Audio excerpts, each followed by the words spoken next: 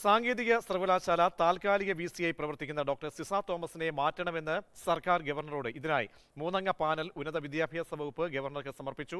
സാങ്കേതിക വിദ്യാഭ്യാസ joint director doctor Baiju Bhai സാങ്കേതിക സർവകലാശാല മുൻ ഡീനായിരുന്ന doctor Vrindavi Nair K T യുവിലെ സിൻഡിക്കേറ്റ് അംഗം ഡോക്ടർ സതീഷ് കുമാർ എന്നിവരുടെ പേരുകളാണ് സമർപ്പിച്ചത്.